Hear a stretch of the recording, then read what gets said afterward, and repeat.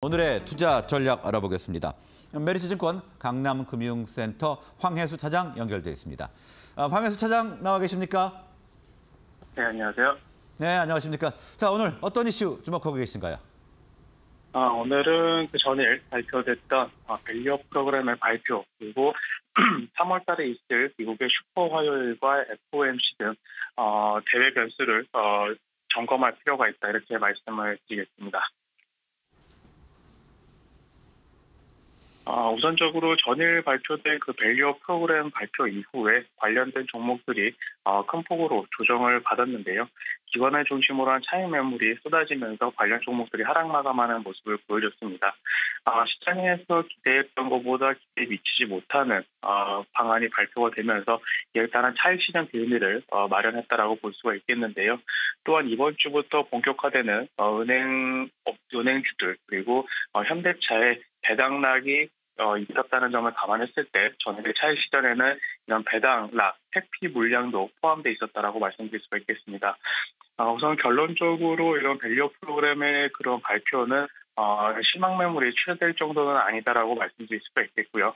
어, 명확한 그 길이 어, 정해져 있는 만큼 꾸준한 관심을 가질 필요가 있다라고 말씀드릴 수가 있겠습니다. 물론 관련해서 종목들이 단기간에 급등했기 때문에 이에 따른 차익 실현은 나타날 수 있는 상황이지만 일본의 사례를 보더라도 어, 전일에 어, 국내 증시 되돌림은 그 일본의 되돌림과 어느 정도 일정 수준 부합했기 때문에 추가적인 조정보다는 이제는 어, 주가가 안정화되고 재차 상승할 수 있는 여력이 충분히 있는 상황이다라고 말씀드릴 수가 있겠습니다. 이렇기 때문에 밸류업 관련주의 조정은 파는 조정이 아니라 사는 조정이 될 가능성이 높다라는 점을 말씀드릴 수가 있겠고요. 어, 전일 발표된 방안은 어떤 그 전체적인 밸류업 프로그램의 완성된 방안이 아니라 어, 시작되는 점이라는 시작되는 점이라는 점을 어, 감안했을 때 또한 정부의 어떤 그 밸류업 드라이빙 의지가 굉장히 높다라는 점을 감안했을 때 어, 이런 그 밸류업 관련된 테마는 올해 내내 이어질 가능성이 높다라는 점을 말씀드릴 수가 있겠고 다만 그동안 저PBR이라는 점에서 올랐었던 종목들은 조금 선별 과정을 거칠 필요가 있다라고 말씀드릴 수가 있겠고요. 충분히 주주 환원을 할 수 있는 의지와 재정적인 여력이 되는 업체 위주로의 어, 이제 선별 과정이 나타날 가능성이 높다라는 점에서 꾸준하게 관심을 가지실 필요가 있다라고 말씀드릴 수가 있겠습니다. 또한 두 번째로는 대외 변수 중에 중요한 그 미국의 정치적인 이제 이슈가 어, 고쳐야된다는 점을 말씀을 드릴 수가 있겠는데요. 3월달에 이제 미국의 슈퍼 화요일, 화요일이라고 할 수 있는 어, 이제 대선 후보가 결정이 되는 부분입니다. 이에 따라 각 대선 후보에 따른 정책에 의해서 각국의 그 주식시장이 변동성이 나타날 수 있다는 점을 말씀드릴 수가 있겠고요.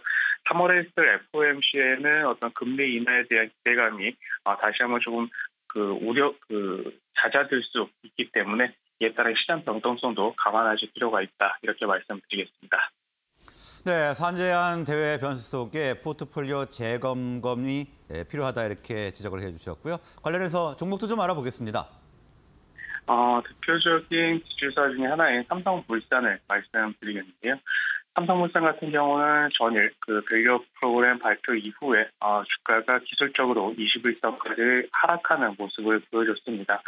하지만 말씀드린 대로 이런 밸류 프로그램은 이제 어, 시작이기 때문에 어, 중장기적인 관점에서는 오히려 매수 관점으로 접근하시는 것이 유효하겠다라고 말씀드릴 수가 있겠고 앞서 말씀드린 대로 주주 환원에 대한 의지와 여력이 있는 업체 중에 하나가 삼성물산 물산이다라는 점을 감안했을 때는 역시 매수 관점으로 접근하시는 것이 유효하겠다라고 말씀드릴 수가 있겠습니다. 동사 같은 경우는 또한 3월 말에 있을 어, 주주총회가 예정되어 있는데요.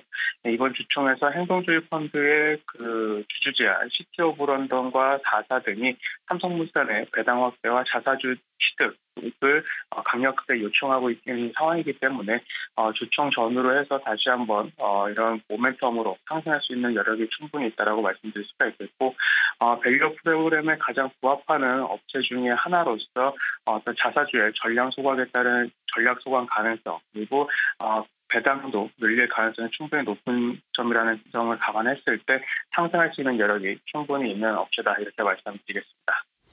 네, 오늘 삼성물산 관심 정보 분석을 해 주셨는데요.